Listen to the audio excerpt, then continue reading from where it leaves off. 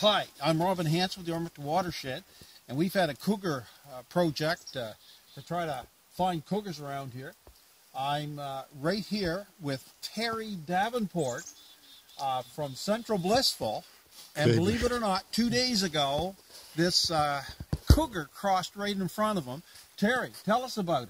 Well, I was just going, coming down to Oromocto, Canadian Tire, and about quarter after eight, that's when he crossed. That was in the morning? that was in the morning. In the quarter morning. after eight in the morning.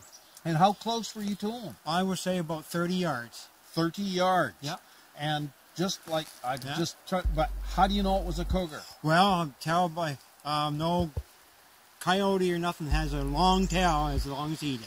I'll be darned. Yeah, so I- you got uh, so that's like a hundred feet away. Yes. And was he running or walking? no, he was just on on a good walk. He wasn't running enough. Yes, he just sir. crossed, come up on a good walk.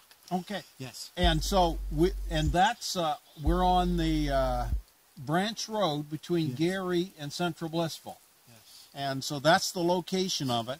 And so we're back here uh, a day later or two No, days. Two days later. Two days later, I heard Yes. about it, and I got a hold of Terry here. Yes. Okay. Yes. And we haven't had a snowstorm, and it's been easy tracking. Yes. And Yeah. so uh, the cameraman, Randy, he he come in and beat us to it. But Right, we've right. come in, and there's the kill there. right here. Have a There's a- look. There's the kill. It's a big doe he It's, killed. it's a big doe that he killed, and um, and we got uh, just back here a little bit. We see where uh, um, the cougar laid down, and and Terry said he spotted the hairs, and so I collected the hairs.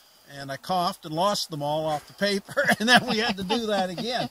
But Terry, that is absolutely Yes. a rare find. You must be some excited No, it's to. the first uh, time I ever seen that. I've searched all my life Yeah. and hoping to see one. I haven't seen one. No, I And heard people saying that they seen them on this road, you know, and I just kind of thought, oh yeah, so you know maybe it was something else, but Yeah. now I believe. yeah, Yeah. you believe and I believe too Yeah. because before I think in the last two years we've had four sightings right in this area. Yes. So yeah. that uh, something's going on here. Yeah. But behind the camera is Randy. Yes. He's yeah. the guy that he says, "Well, I'm going to go a little bit further here," Well, yeah. and he kept going, and then he found uh, where part of the kill was, Yeah. and then uh, the tracks, and there's cougar tracks all over the place here, and so uh, I don't know where the rest of that's probably the we'd have to put the the uh, the guide here to work to find the rest of the And kill here, Maybe but he brought that over from across the road. That's what maybe, I'm thinking. yeah. I'm Okay, thinking. well let's go check across the road then. Yes. Thanks, Terry. Oh, you're welcome.